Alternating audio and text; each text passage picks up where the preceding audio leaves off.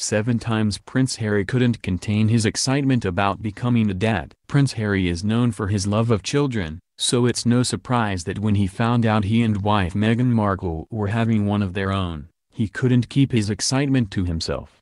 Back in January, Harry, 34, used his impending fatherhood to inspire young people during a speech at Lancaster House in London. As someone who is about to become a father, I am acutely aware of our shared responsibility to make this world more resilient and its inhabitants more accountable for the next generation, he said.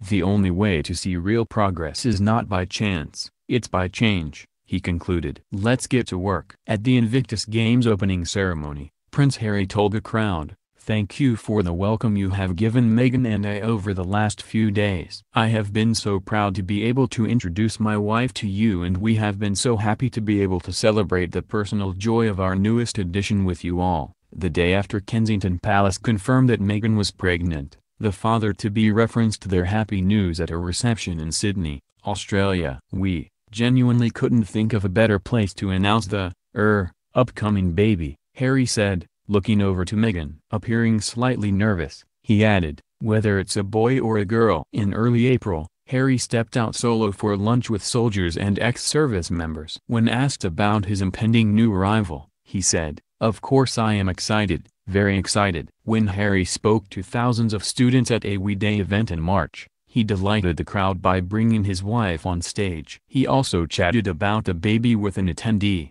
Lucy Brightman Stokes, 12 after she gifted the parents to be a teddy bear. Harry said he was happy it was a soft teddy, not a hard one, and said, that will go in the crib, Brightman Stokes recalled. Before handing out prizes at the Endeavour Fund Awards in February, the royal couple met with nominees, participants and supporters of the organization. As they moved around the party, Harry was heard excitedly joking to one invitee, there's a heavy baby in there.